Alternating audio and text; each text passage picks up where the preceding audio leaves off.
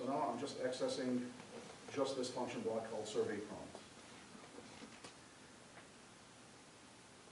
And I save it, and then I go back into my browser. And I reload it.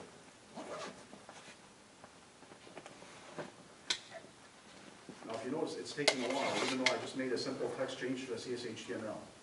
Why is it taking a while? It's recompiling, right? I'm no longer working with just an HTML file where I make the change, hit refresh, and it gets loaded. No, there's a compilation step where I'm taking that HTML, compiling it down to a WASM, sending that WASM to the browser, and then the browser compiles it further. So you didn't have to restart your debug session? So your studio just, just being the latest compilation? Yeah. And so, I'll have to stop debugging. No.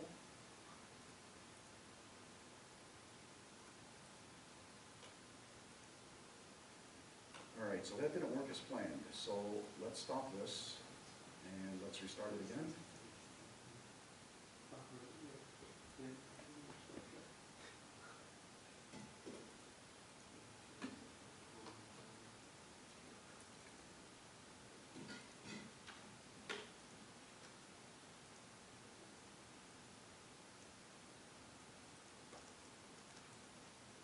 So every time you change the HTML, it's got to recompile.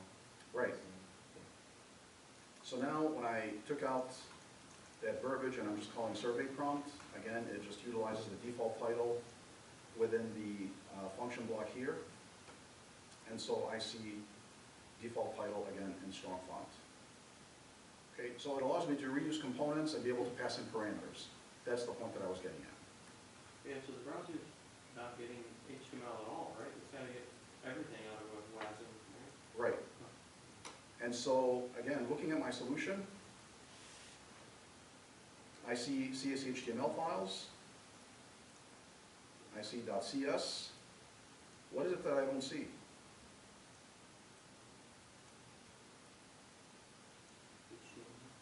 That infamous JavaScript file, right? I don't see any JavaScript at all. Now, let's take a closer look at the browser, and we'll go ahead and inspect the page. And you see that in the console, I have two messages here, inside main and inside app CSHTML. So what I did was, I have these two lines in my program.cs where I'm saying inside main, and then also in my, uh, where did I put it?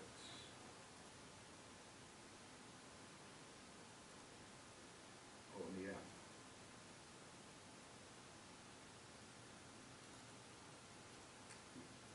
So inside the app.cshtml. So these are the the app.cs, excuse me, app.cshtml and the program.cs are what I use to launch the application initially. Um, And so looking at it here, I'm utilizing system.diagnostics.debug.writeline. In the .NET world, what does this do? It, out- it, It it's a outputs this debugger text. to the console. To the console, right? So when I look at my output here, under debug, I don't see those three arrows anywhere, and neither will I. However, looking at my browser, there are my messages in the console, inside main and inside app.cshtml. Okay? To step it up even further, what I'm gonna do is look at my network, and now I'm gonna reload the page.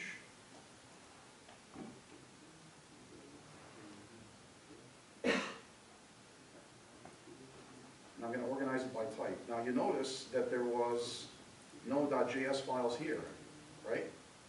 Just the CS and CSHTMLs. When I look in my browser, what got downloaded to the browser? I have some JavaScript files I got created. When I look at that blazor.js, essentially what's going to be happening here is that when the app starts, the program.cs calls the app.cshtml. And then we have a blazor.js that gets generated here, and then this also calls the mono.js. So these two JS files are created on the back end. How does that order go again? The files files? you have the program.cs calling the app.cshtml. So we have, again, our program.cs because it's a console app. Because it's a console app, program.cs always gets called here with the static void main. And then that eventually will call the uh, app class here. It'll call the app component, which essentially points to this app.cshtml. And so when I look at my console window, I see inside.main, and then followed by the message inside app.cs HTML. And does the app CS HTML call the JavaScript files? or how does it do I'm sorry, say that again? Um, And then how do the JavaScript files get called? So the JavaScript files, they get generated, and we have two of them, the blazor.js and the mono.js. And the blazor calls the mono.js. And how is the Blazor called? How does the blazor get called? Um, I, I'm not sure, it could be through the mono, let's take a look. No, I think that's through a TypeScript file, actually. So we have blazor.js.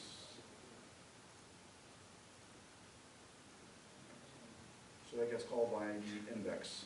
Oh, No, wait a minute. Yeah, the index. Which is the default page. That is this guy.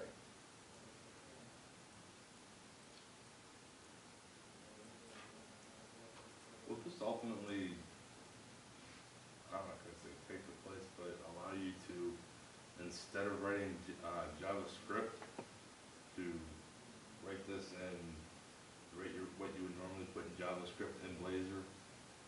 Uh, would that be in, that, does, does Blazor require its own syntax, or can you use like C sharp in order to generate those types of So commands? Blazor essentially allows me to be able to use uh, C Sharp and Razor. And we'll take a closer look at that in just a second. Okay. Uh, Specifically, we talked about that there's three pages that get generated in this default template, right? And one of them is this counter.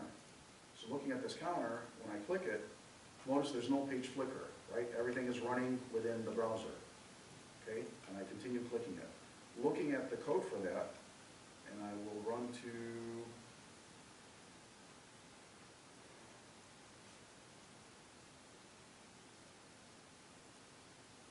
counter. And again, notice the file name, counter, and I renamed it counter xyz.cshtml because it's looking at this page directive here. Everything gets compiled down into a library, so I'm no longer concerned with the name of the file in this scenario. And so looking at it, I now have this function block where I can execute client-side code, if you will, for lack of a better term, okay? And so essentially what I'm doing is I have uh, a C-sharp syntax where I'm declaring an integer, and then all I'm doing is making a call to increment count. And then what increment count just simply does is it just uh, increases or increments the current count. To call it, it's done through this HTML button up on top. I have an event handler to say on-click, call increment count, which is again addressed by Razor syntax with the at symbol in front of it. You with me? Yeah, I'm not a hundred percent, I, I, I don't know a whole lot about Razor, so. Okay, so Razor basically allows you to combine C-sharp code with HTML, all in one file. Okay. And hence, we have the .cs HTML, because it's combining C-sharp and HTML. Well, that's How why, do I that's why when I asked earlier of- about having Blazor syntax, and you Mhm. said, no, it's Razor syntax, Right, that answered the question, so. Yeah. So Blazor is more of a framework than it is a language. You're a PHP guy, right? Yes. Razor is very similar, it's run server side and it puts together HTML with, with C sharp mixed in instead of PHP. So Razor currently runs server side, but now this is all running client side. What I'm doing here is essentially, I'm uh, This is just a single page, well, not single page, but a static file demo. So all the files that I'm creating, they essentially get sent down to the browser. The next example, we're gonna do some server-side interaction. Okay, yes, sir? my question, so I come from like React and full stack JavaScript, and so I'm noticing like a lot of similarities, like instead of JSX, you're using, uh, Razor, Mhm. um, it's like C sharp, HTML together. Uh, like React, or is it doing something like a virtual DOM? And that's, cause you mentioned how fast those changes are made when you're clicking that button to increment, um, the HTML, is that happening like server side? Or, no, I mean, that's, that's all on the client side. It's all on the client side, and it's a binary file that essentially is getting executed on the back end. Okay, but is there, so in React, there's a, uh, a virtual DOM where basically all the components are, like it makes like a, a virtual DOM basically, Mhm. and it changes just those components instead of refreshing the page or anything like that. Is that what's happening, or is it just a variable that's changing? That's, So that one, maybe this can better answer it. If we take a look at the incrementer and the view source, we see that what we're, what we have here, can everyone see that okay?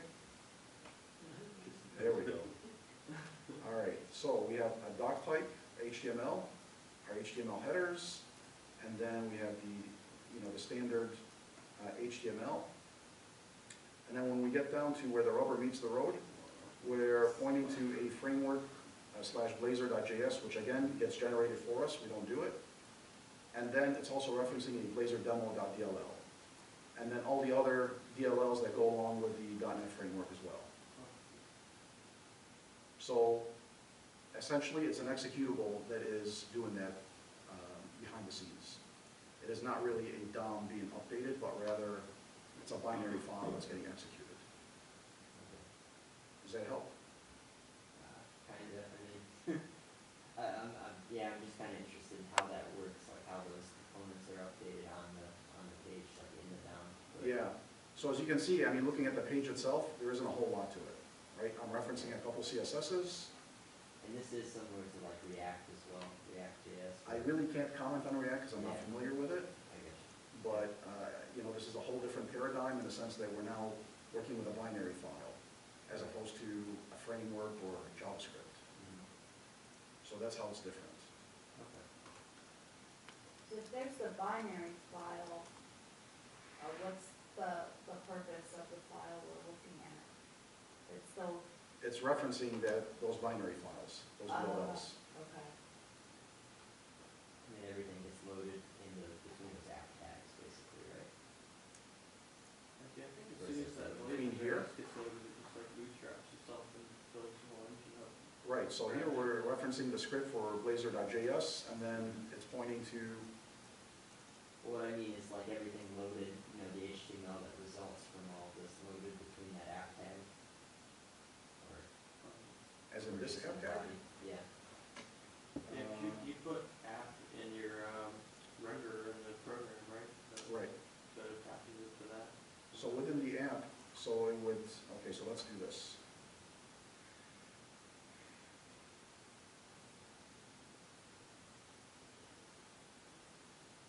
Um, You know, on second thought.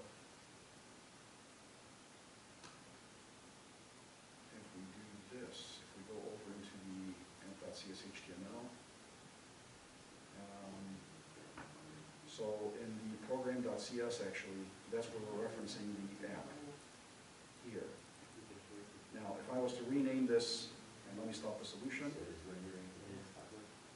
If I was to rename app.cshtml,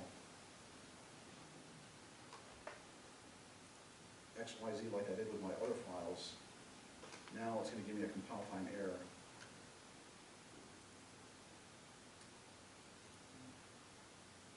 It's looking for that app and it's not finding it. And so what it's doing is, it's looking for that class for this app when it loads it, and this is what loads the assembly.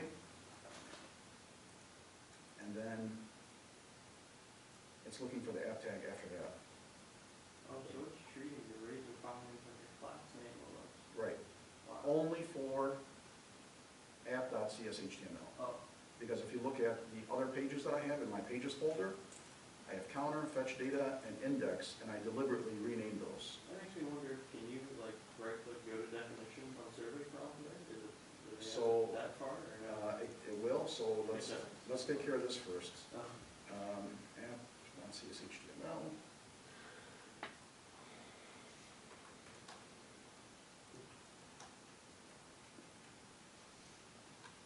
So now if I go into my program.cs and I go to, go to definition, is that what you're after, sir? Yeah, yeah. Oh, wow. Oh, this is. So you notice the file that it's taking me Oh, to, this is the new highlight. app.g.i.cs, and if you notice, it's embedded within, I'm trying to keep my mouse steady, in my OBJ debug net standard 2.0 It's the artifact. file. Then here's some component. So this file is generated uh, dynamically. So every time I do a rebuild solution,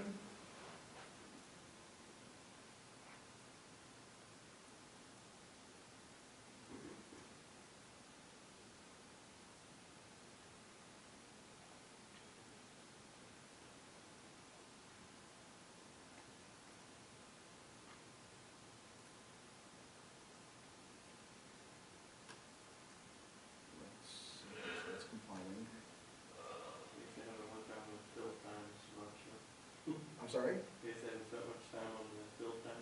Well, again, being that it's experimental product, that is one of the things that they're gonna be working on, yeah.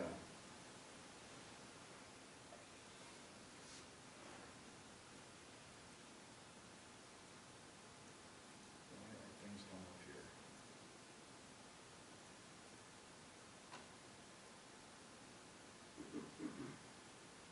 Okay, there we go.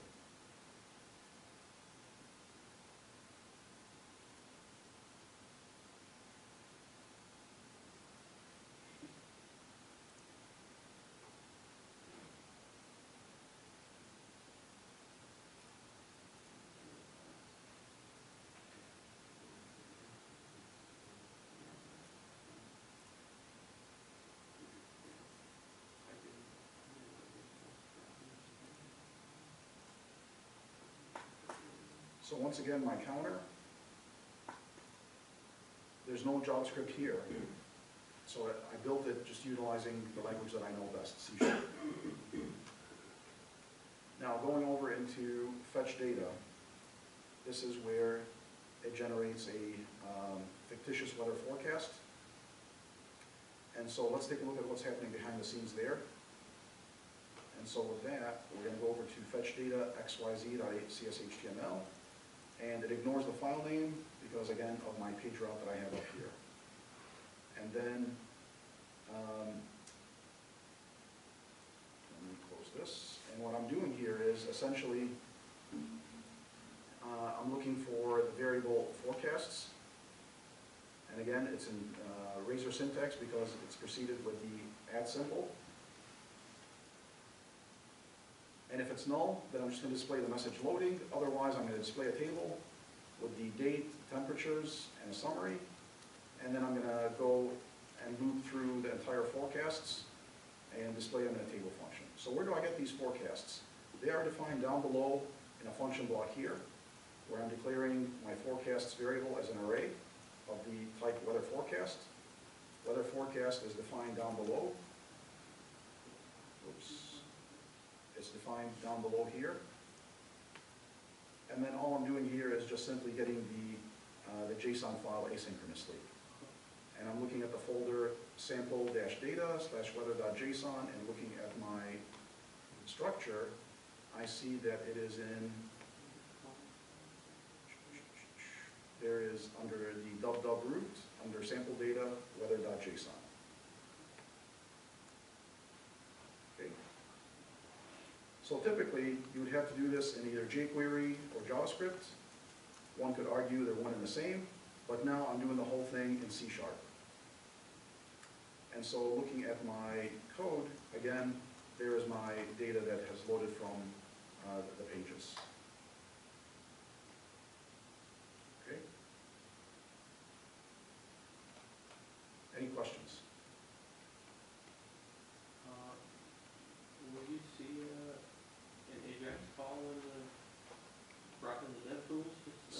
we can inspect the page. You're not gonna see any JavaScript in any of these, yeah. JavaScript that I don't write, but there is JavaScript on the back end. So I'll go ahead and reload it. Yeah, that's, pretty-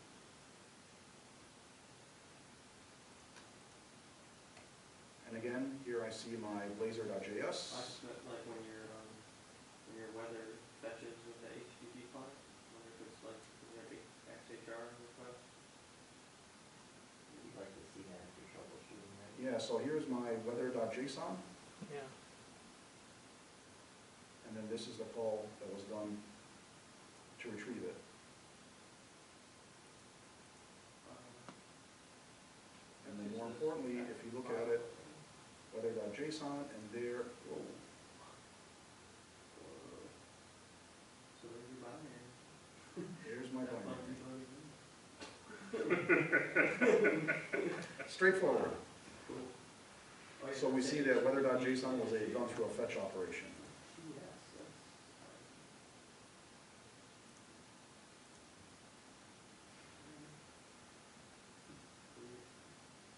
Uh, I see that there are several XHR calls that were done here, again utilizing the, the DLLs. I was making a question of DLL. Let me expand this a little bit further.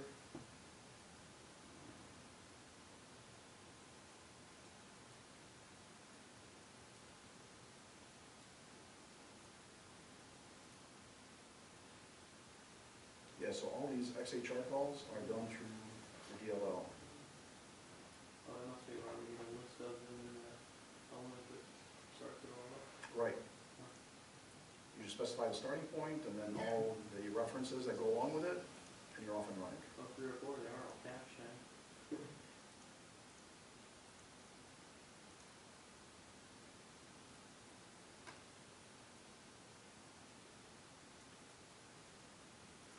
So what do you all think so far? Magic. Isn't it? I can't believe they got it to work, it's amazing. Can you display the weather forecast, uh, uh, file in Visual Studio again? Sure. Are you not trusting me, ma'am? I, I, I trust you. So it's just a JSON file, and where did that sucker go? Oh, oh, oh, oh, the, the other file, the, the, the one that calls it, so it is. The one that calls it, this one? Yeah. Yeah. And so you injected just, that's just like the built-in .NET HTTP client. Well, for this one, I had to inject the HTTP client in. But that's, so that's like the same API as. It's essentially .NET. dependency injection, It is just what's like happening. maps stuff to browser somehow.